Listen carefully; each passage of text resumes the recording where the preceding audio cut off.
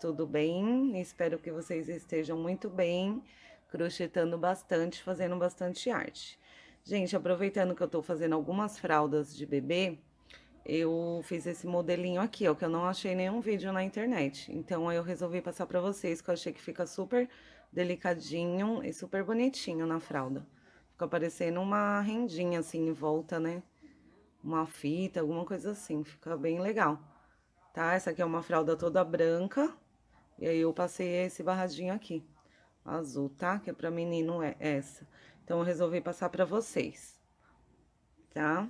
Então, a gente vai... É, no caso, eu vou fazer com uma fralda toda branca, mas você pode fazer colorida também, qualquer fralda ou pano de prato, também fica legal. Vou dar a laçadinha aqui, ó, inicial pra prender a linha aqui na agulha. A gente vem no cantinho da fralda, que o cantinho sempre é mais difícil de furar, tá? Se você quiser furar com uma agulha mais fina. Ó, esse daqui eu já tinha furado antes, porque ele é dificinho mesmo. Aí, você pega a laçadinha aqui.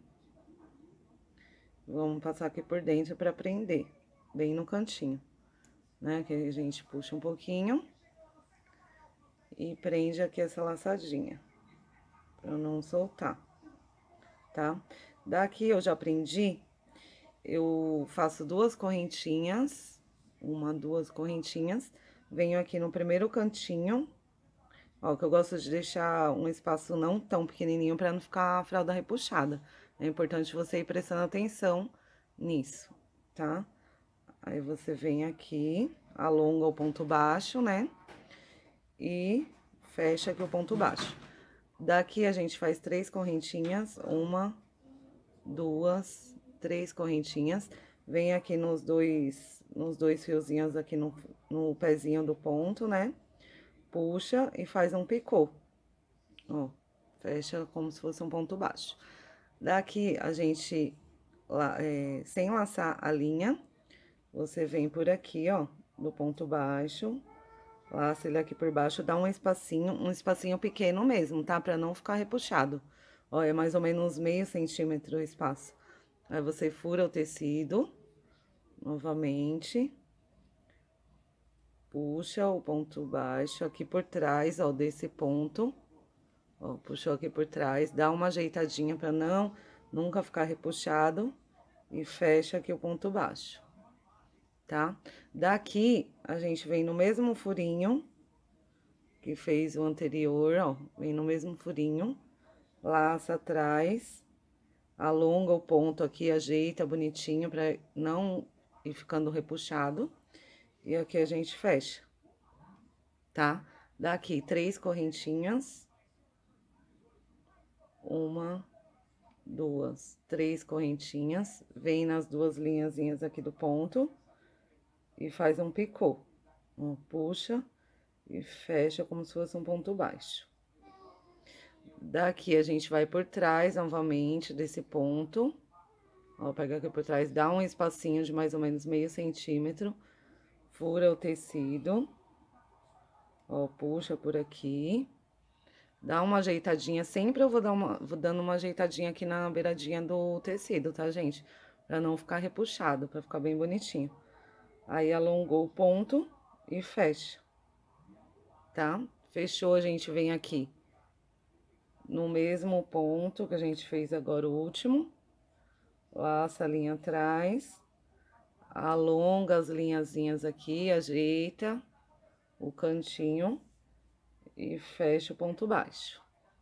Tá? Daqui três correntinhas, uma, duas três correntinhas, vem por trás do ponto aqui que a gente fez, meio centímetro mais ou menos, puxa, ó, puxa aqui por trás, dá uma ajeitadinha, solta a linha, ó, sempre eu vou já ajeitando aqui, ó, ajeitando pra não ficar repuxado. Fecha o ponto, ó, aqui já vai dando pra ver como que vai ficando. Aqui a gente entra no mesmo ponto, último que fez. Ajeita aqui, alonga o ponto baixo e fecha, tá? Daqui, três correntinhas, uma, duas, três. Vem aqui nas duas linhazinhas e faz um picô. Ó, fecha o picô. Aí, daqui, novamente, vamos por trás do último ponto. Ó, passa por trás mais ou menos meio centímetro. Fura o tecido. Puxa a linha aqui por trás. Já dá uma ajeitadinha aqui no tecido. Ó, ele vai ficando retinho. E fecha o ponto aqui. Assim. Aí, aqui a gente vem no mesmo furinho anterior. Alonga o ponto. Baixo. E fecha ele aqui. Daqui, três correntinhas. Uma. Escapou. Duas três correntinhas, vem por trás, não, desculpa, aqui a gente fecha o picô. Fechou. Agora, vamos aqui por trás, último ponto, meio centímetro mais ou menos. Puxa a linha já, dá uma ajeitadinha. Ó, no cantinho vai ajeitando, soltando a linha aqui, pra ficar bem esticadinho. E fecha. Aqui a gente vem no mesmo furinho anterior. Alonga o ponto, já ajeita e fecha. Tá? Eu vou até o outro cantinho pra mostrar pra vocês como eu faço o outro lado, tá?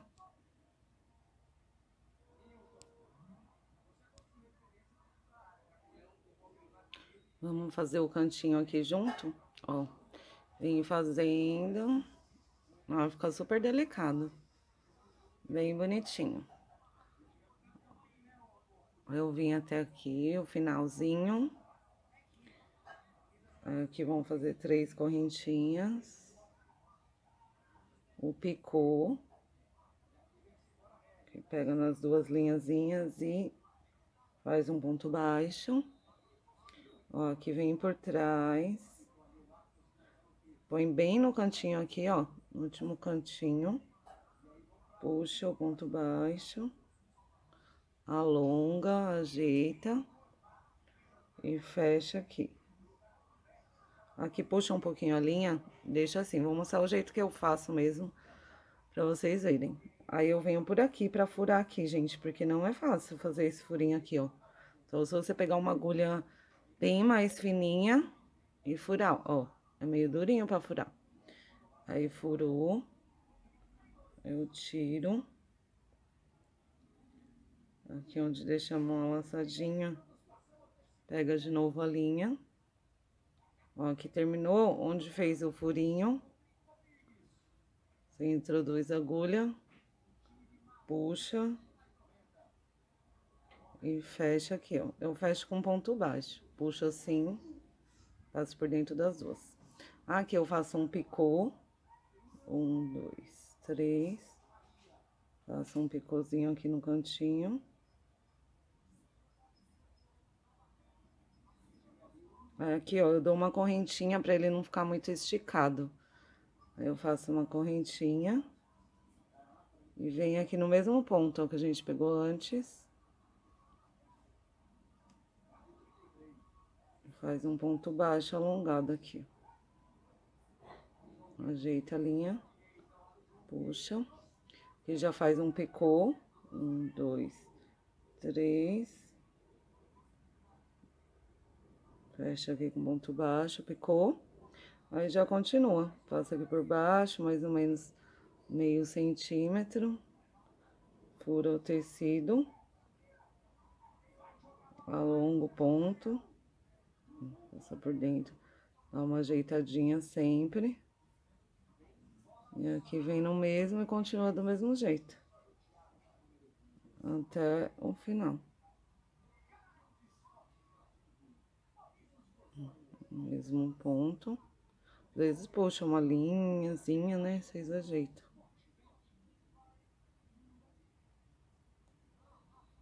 Alongou. Fecha. Aí faz o picô e assim vamos continuando. Tá? vou até o final lá e mostrar como que eu finalizo.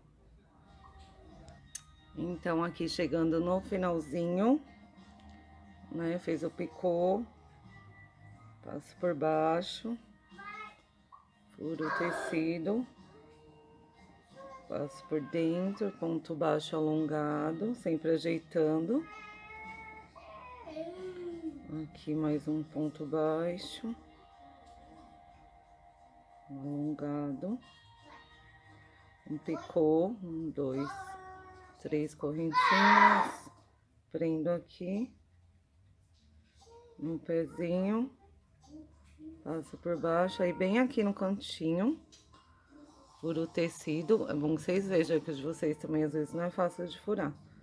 Ó, quando furar, coloca a agulha mais, assim, introduz mais a agulha onde a tela é mais grossinha, que aí fica mais fácil, mais fácil pra puxar a linha.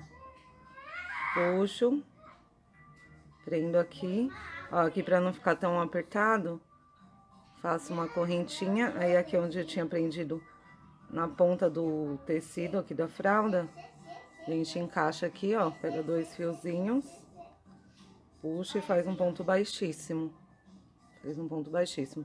Puxa a linha, que eu vou cortar. Corto o fio. Aí, pra arrematar, eu puxo aqui a linha. Aqui pra trás, eu puxo esse fiozinho pra cá. O fiozinho que eu acabei de cortar. Aqui eu gosto de amarrar. Ó, tem os dois fios, eu dou três nozinhos aqui.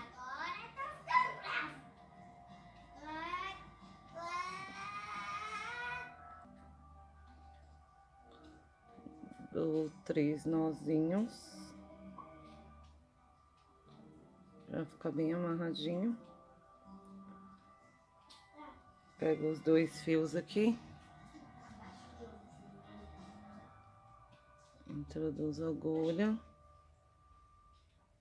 Puxo aqui esses fiozinhos pra cá.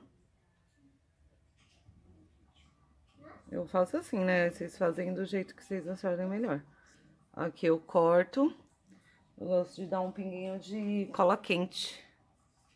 Ó, faço um pinguinho de cola quente aqui. Cuidado que é quente mesmo. Uma amassadinha aqui, ó.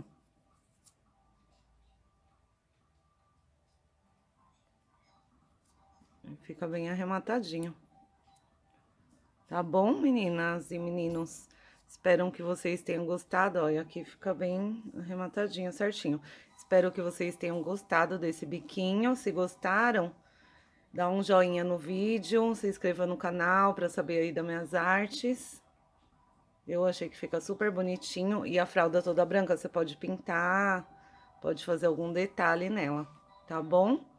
Então é isso, se inscrevam aí no canal, que eu fico muito feliz com os comentários e que vai aumentando aí os seguidores, tá bom? Um beijo para todo mundo, fica com Deus, muitas artes para vocês. E é isso aí, até o próximo vídeo, tá bom?